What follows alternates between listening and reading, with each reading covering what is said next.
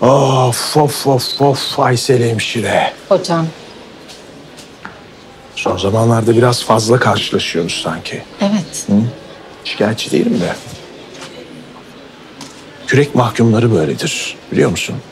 Bir şekilde karşılaşmanın bir yolunu bulurlar. Çek kürek. Çek çek babam çek.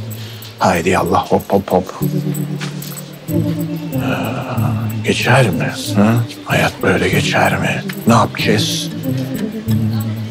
Bilmiyorum ne yapacağız. Sen de bana bak. Hayat geliyor geçiyor. Bir şekilde artık bir yuva kurmanın vakti geldi bence. Tamam. Hocam ne alakası? Ha? Yok mu münasip bir beyefendi aday? Ee, poliklinik 3 bu arada hocam sizin. Lafı değiştireyim diyorsun. Kaçamazsın.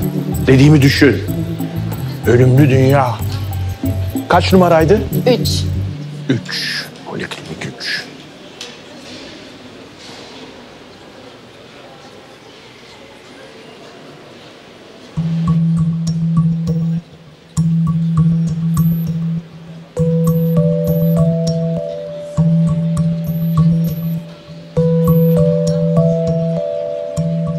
Geçmiş olsun. Teşekkürler.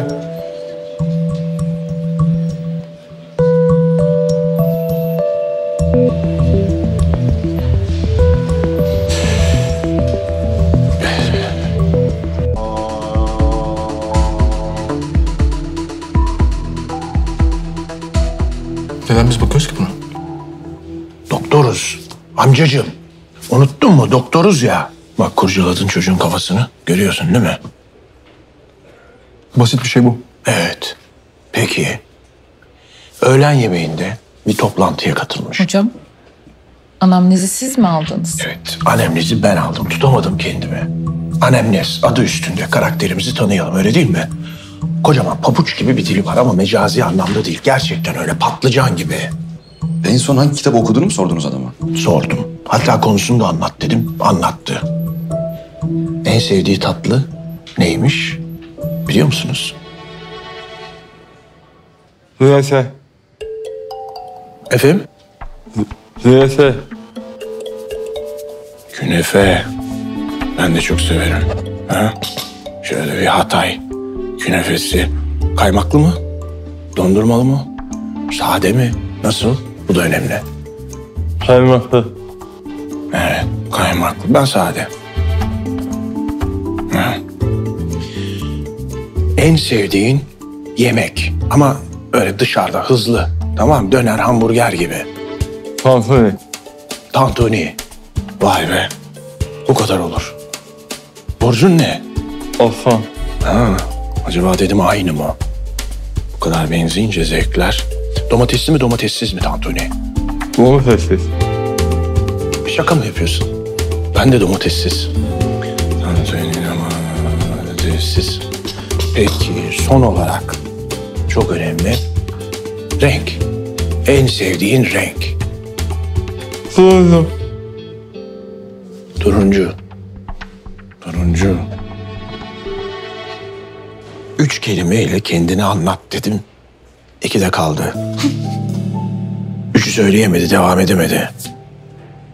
Hocam, acımasızsınız. Öyleyim. Huyum kurusun. He? Dolapdere. Döndün mü harikalar diyarından özüne? He? Hoş geldin.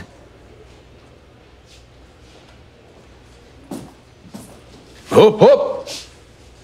Dolapdere amca nereye gidiyorsun? Bitmedi daha. Hocam, bu vaka sizi eğlendiriyor olabilir ama bu vakada bir şey yok. Ya toksik bir durum, ya enfeksiyon ya da alerjik bir reaksiyon. Adrenalin verdiğiniz alerjik reaksiyonu eliyoruz. Enfeksiyon riskine karşı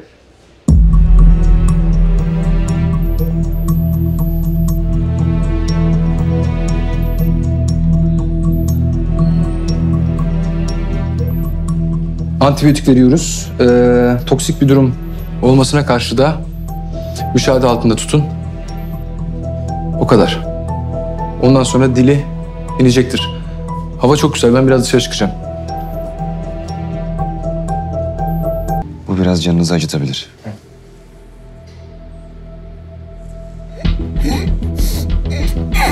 Çıkar çıkar nefes alamıyorum.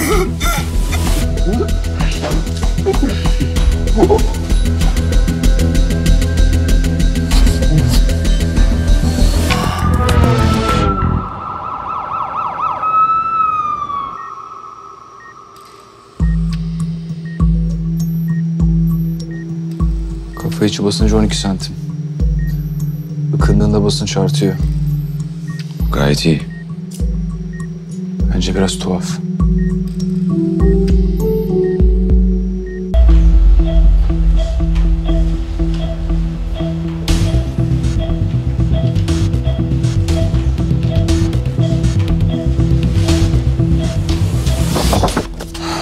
Biyopsi temiz. Kan beyin bariyerinde birikmiş çöp yok. Bacağınız gerçekten iyi mi? Boş ver bacağım. Burada başka bir şey var ama. Hastanın beyninde kan saptadık. Hangi tarafta? Yanlış tarafta. İşte sonunda mantıklı bir şey bulduk. Ee, hocam yanlış tarafsa yanlış taraftır. Bunun mantıklı bir tarafı olmaz. Kanama beyni etkiler, ateş yapmaz. Son zamanlarda biraz fazla mı uyuyor? İlaçlarında minik ayarlamalar yaptım. Uyusun da büyüsün.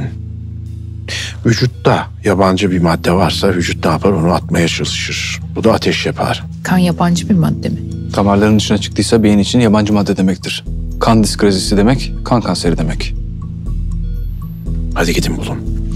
Yaptığımız testler Negatif. Evinin önündeki çöp tenekesi doluysa çöpünü nereye atarsın? Komşunun çöp tenekesine atarsın. Ama gündüz vakti komşun görebilir seni pencereden. O zaman ne yaparsın? Komşunun arka bahçesine çaktırmadan geçersin. Arka bahçesindeki çöp tenekesine atarsın. Akciğerlerdeki lenf sistemine bakalım. Ne? Nereden anladın? Arka bahçe. Çöp tenekesi oradan mı anladın? Dildeki tükürük bezleri akciğerlerdeki lenf sistemine bağlıdır. En yakın lenf sistemi o. Ameliyatta akciğerlerin lenflerine bakın.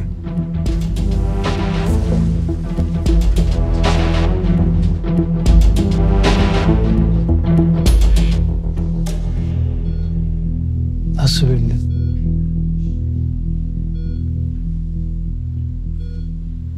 Zeki. Zeki olmasa işe almazdım.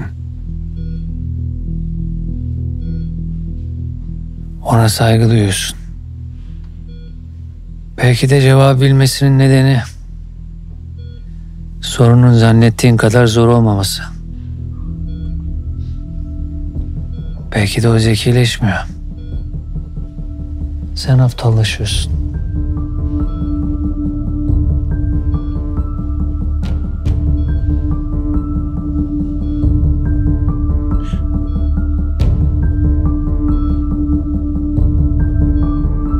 Kanalımıza abone olarak tüm videolardan anında haberdar olabilirsiniz.